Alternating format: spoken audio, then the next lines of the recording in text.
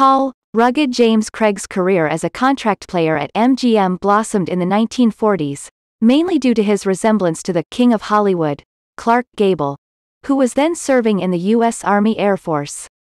The Rice Institute graduate had studied to be a physician until a sojourn in the movie capital persuaded him to try his luck as an actor. He was tutored by thespian Cyril Delevanti in 1934 and began in the industry as an extra. Having lived for some time in Texas, he had the perfect drawl to be made into a Western hero. James Henry Meador consequently transformed himself into James Craig when it looked like he might be given a role in the melodrama Craig's Wife, 1936. Instead, he appeared mainly in second feature oaters for the first two years of his career.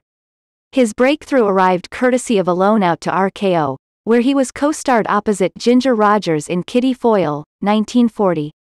He had some critical success as Farmer Jabez Stone in The Devil and Daniel Webster, 1941, and had high-profile parts in a couple of other A-grade features.